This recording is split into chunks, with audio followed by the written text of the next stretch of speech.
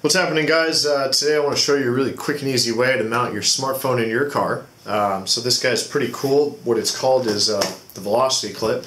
And what it does is it takes your smartphone, any smartphone, any model, um, and you can stick it in the mount and put it anywhere in your car that you want. So this is just an iPhone. Here I've got an Android. So I'll show you how this guy works. What you do is you just grab your smartphone, stick it in between the grips right here, once you do that, you tighten it up. You can see it's really secure. It's not going to fall out. The next thing you do is you just take one of these adhesive mounts, stick it anywhere you want in your car, uh, inside, outside, doesn't matter. It's really rigid, so it's not going to fall off. It's really good for action footage too. Clip that guy right in, um, and then you're ready to start filming.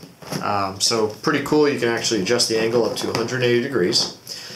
Uh, tighten that guy up once you find the sweet spot for filming, and then you're ready to go. Another cool thing you can do with the same exact mount, uh, flip it upside down, put it on a suction mount, like this guy right here, um, stick it on your windshield and uh, use it for GPS, or you can fix it to any any location you want and you can start filming with it. So that's pretty much it. Uh, really easy mount, works for all phones, super simple. Um, you can run to velocityclip.com, check these out. They're about 40 bucks online. It comes with free shipping and uh, comes with a couple different mounting options. So take a look and let us know what you guys think. Thanks for watching.